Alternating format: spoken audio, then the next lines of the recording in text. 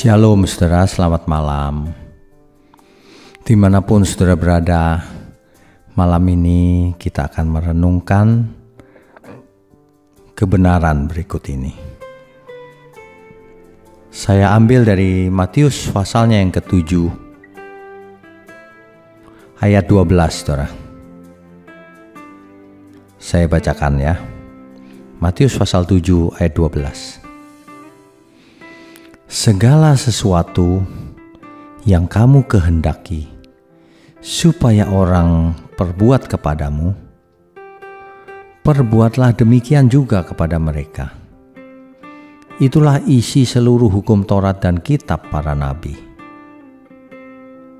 Saudara, di dunia ini ada ajaran atau filosofi yang berbunyi bahwa kamu jangan berbuat jahat kepada seseorang,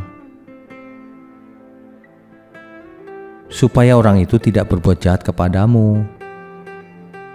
Ya, ya, filosofi itu sangat logis juga, tetapi itu hukum negatif. Artinya apa? Dimulai dengan kata "jangan". Jangan, jangan lakukan yang jahat kepada orang lain supaya orang lain tidak buat jahat kepadamu. Itu namanya hukum atau aturan negatif. Sedangkan inti daripada hukum Taurat atau inti kebenaran itu hukum positif.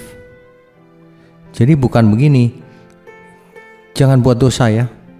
Terus lalu kita menjadi pribadi yang pasif, diam saja, yang penting tidak berbuat dosa. Bukan demikian. Hukumnya adalah hukum positif. Aturan positif. Makanya Matius pasal 7 ayat 12. Artinya kita harus melakukan sesuatu yang orang lain itu lakukan pada kita yang orang lain ingin kita perbuat kepadanya.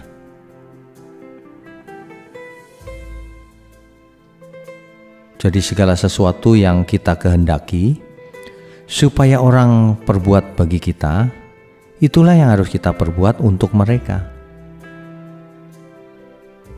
Itulah hukum kasih, saudara. Kita harus melakukan apa yang memberkati sesama kita karena kita pun ingin diberkati. Mengasihi sesama. Jadi bukan hanya kumpulan jangan ini jangan itu. Bukan begitu.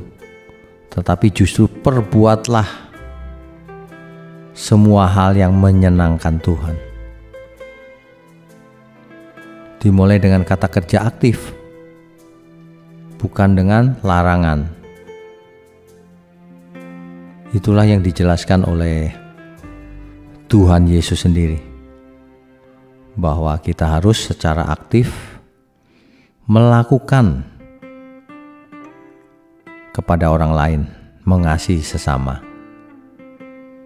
karena kita pun ingin dikasih sesama kita, ingin dikasih Tuhan juga. Selamat malam, saudara. Selamat beristirahat. Amin.